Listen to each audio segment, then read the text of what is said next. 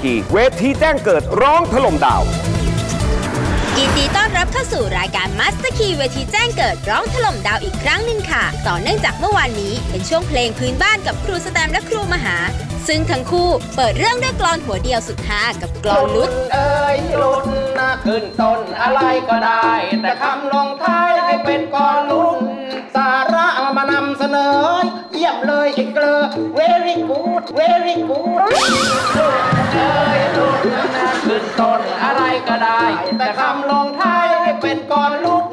สาระนั้นเป็นต้นไม้ มีดอกใหญ่ๆ ชอบใจละที่สุดชอบใจละที่สุดลุนเอ้ยลุนนะขึ้นต้นอะไรก็ได้ แต่คำลงท้ายให้เป็นกรลุนท้องไส้ฉันมันปวนปานเข้าซ่วมไม่ทันมาเลยจูดจูดมาเลยจูดจูดเอ้ยลุนขึ้นต้นอะไรก็ได้ แต่คำลงท้าย ส่วนเรื่องที่จะมาโชว์เป็นเพลงพื้นบ้านก็คือ เรื่องขุนช้างขุนแผน ซึ่งถ้าใครจำเรื่องราวกันไม่ได้ เราไปฟังเรื่องย่อกันก่อนดีกว่าค่ะ วันนี้เราจะหยิบยกเรื่องขุนช้างขุนแผนเอามาโชว์กันวันนี้อ่าอ่าอ่าเล่าเรื่องย่อให้ผู้ชมฟังกันหน่อย เรื่องย่อๆเหรอมันก็มีครอบครัวอยู่ 3 ครอบครัว อะ ก็เป็นเพื่อนกันอะตั้งแต่เด็กๆ มีพายแก้ว นางพิมพ์แล้วก็ขุนช้าง ทีนี้เขาก็รักผู้หญิงคนเดียวกันทีก็นี้คือนางพิมพิลาไลนางพิมพ์พิลาไลตอนนี้ไปไปๆมาๆนางพิมพ์นะก็ชอบกับพายแก้ว ก็ได้ตกลงปรงใจแต่งงานกัน ขุนช้างเนี่ยก็อิจฉา ก็ออกอุบาย ตอนที่ขุนแผนต้องไปรบก็หลอกเอากระดูกไปหลอกนางศรีพระจันทร์แม่ของนางพิมพ์อะนะ ว่าขุนแผนน่ะมันตายแล้ว นางศรีพระจันทร์ก็เชื่อไปจับขุนช้างแต่งงานกับนางพิมพิลาไลทีนี้ขุนแผนกลับมาล่องทัพกลับมาขุนแผนก็มาดักนางวันทองไปอีกตอนนั้น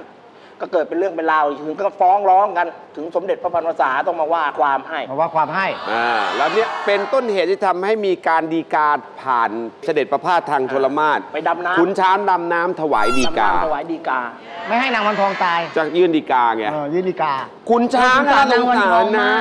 แต่คุณช้างเนี่ยเขารักขุนวันทช้างองเขารักมนางวันทองที่สุด แต่ก็ไม่ใช่ความผิดนางวันทองไงถูกปะล่ะ ใช่ ถ้ารักก็ไม่ควรหลอกกัน รักแล้วก็ ก็ควรให้เขาอยู่กับคนที่เขารัก ก็ควรให้เขาอยู่กับคนที่เขารัก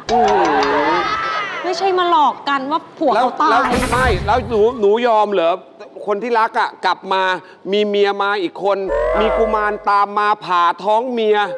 เอาเด็กใช่ไปใช่ทำกุมาร เอ่อ มันพระเอกตรงไหนไอ้ขุนแผนเนี่ย แต่ว่าถึงกระนั้นแล้ว ก็ควรเป็นนางพิมพิลาไลที่มีสิทธิ์เลือกว่าจะรักใครไม่รักใครพี่มิ้นก็แต่ถ้าเกิดแม่เป็นนางพิมพ์นะแม่จะไม่เลือกทั้งขุนแผนขุนช้างเลยเป็นหนูหนูก็คิดถึงแม่แม่จะหาผัวใหม่ เอางี้ดีกว่าขุนช้างกับขุนแผนใครรักวันทองมากกว่ากันเดี๋ยวเราจะมากล่าวกันในนี่เพลงบ้านๆอ๋อให้ทะลุกันไปเอาที่เอาที่ชอบที่ชอบชอบชเอาบอะไรวันนี้เพลงอะไรวันนี้เป็นเพลงอีเซลอ๋อเรื่องทางสุพรรณสุพรรณเอออ่าอ่าอ่า แล้วเพลงอีแซวเกี่ยวกับขุนช้างขุนแผนจะออกมาเป็นยังไง ช่วงหน้ามาฟังกันต่อห้ามพลาดเด็ดขาด